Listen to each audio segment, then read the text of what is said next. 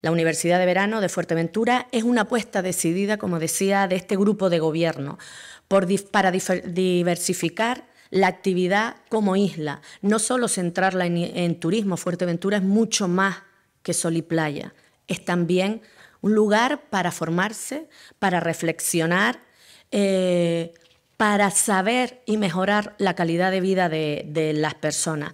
Y lo hacemos fíjense ustedes, en un centro insular de juventud, porque esto también, ya lo decía el consejero Adargoma, nos preocupamos de que nuestra juventud tenga un lugar donde crecer y mejorar con todas las actividades que puede ofertar este centro gracias al gran equipo que tiene la Consejería de Educación y Juventud. Este inicio de la segunda universidad de verano, un proyecto que arrancaba el año pasado con esa primera edición y que cada día y cada año queremos aún eh, reforzar, reforzar más. Por supuesto, de la mano, como no podía ser, de la Universidad de Las Palmas de Gran Canaria, con la cual también estamos pues, eh, cada día uniendo más fuerza para hacer más visible y, mayor la presencia de, esa entidad en, en nuestra isla.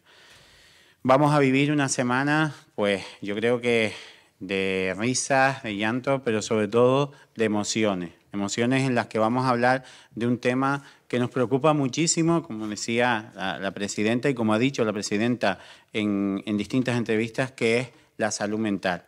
Esa gran tarea pendiente, pero debemos darle un giro y no verlo como una, una enfermedad grave, sino eh, como una situación que creo que seríamos falsos el que digamos el que no hemos tenido en algún momento un bache, como decimos en, en nuestra isla, y que lo que tenemos es que dar herramientas para superar.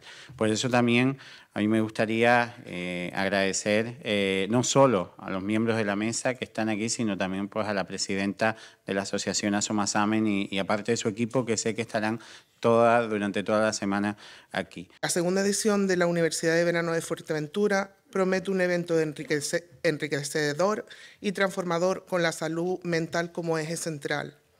Esta iniciativa, conjunta con el Cabildo de Fuerteventura y la Universidad de Las Palmas de Gran Canaria, refleja un compromiso con la educación como herramienta de cambio social, ofreciendo espacio para el diálogo y la reflexión sobre un tema tan relevante como la salud mental. Una oportunidad única para aprender, crecer y conectar con, expertos en el campo. Desde el Ayuntamiento de Puerto del Rosario y desde el área de salud pública, es muy, es muy importante que estas acciones como estas se celebran en el municipio. Una semana en la que seremos referentes a nivel de Canarias de salud mental.